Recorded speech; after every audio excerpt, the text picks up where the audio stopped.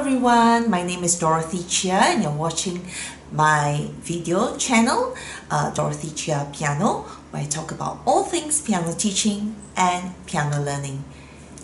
Today I'm going to lift a question from my book, Piano Pedagogy, and it's on page 37.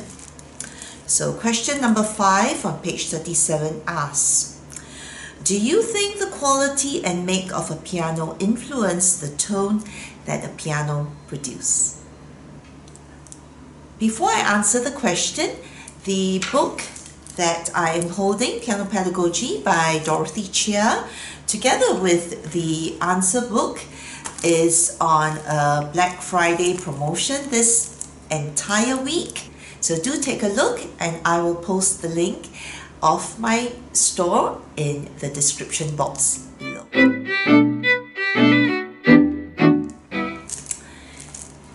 So as you can see in my studio, I have an acoustic grand piano and I have a digital piano behind. So let me use these two instruments to illustrate the answer.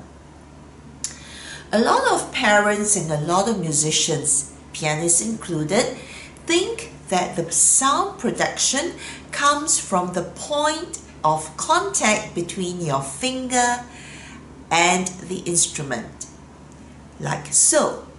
And I'm going to do a close-up now so you can look and listen.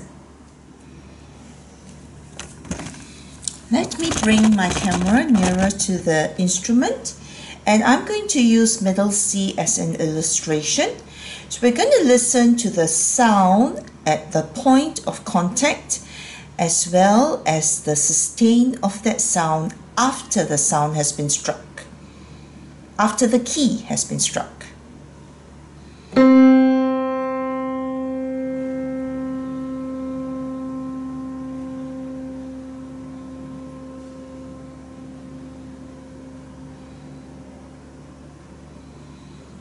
Now I'm going to play it with a drop in this in my fingers.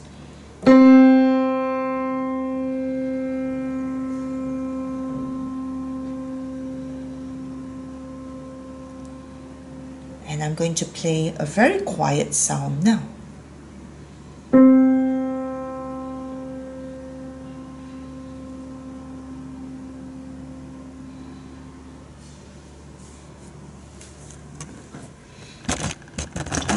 Using the same middle C,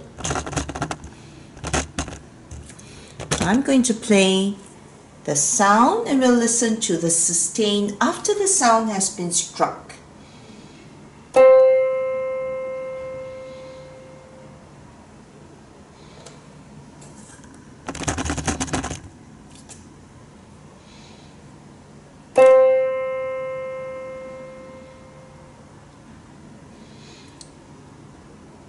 This time I'm going to play a very quiet sound. Let's do that again.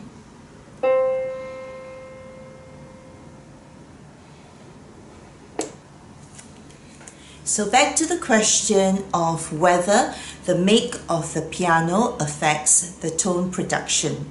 And I would say yes. From the mechanics that we do not see the parts that is in the piano, the type of wood that is used to make the piano, the country of origin of the piano, all makes a difference. And we can see that the sound of an acoustic piano vastly differ from that of a digital piano. And why we invest in a good quality, good make of the instrument of the piano is because of this precise difference in the tone production that we are after. So it is not enough to just listen to the surface sound of the music um, at the point at which your finger plays the notes okay? So a lot of non-musicians I think that is all they see and that's all they hear. So as long as the instrument makes a reasonable even sound that is acceptable to them. But the higher you go up in your musicianship and in your study of the instrument, you'll find that you would want and demand more of yourself and the instrument and what it can deliver because um, the tone makes all the difference. Think of it as like you are choosing a pair of sunglasses. Yeah, is it enough that you choose a, pair which has the lenses colored and so things look um, more muted? Or would you go for one that actually protects your eyes from UV rays and blocks off the harmful rays uh, from entering and passing through the lens so that it really uh, protects your eyes rather than just aesthetically looking pleasing.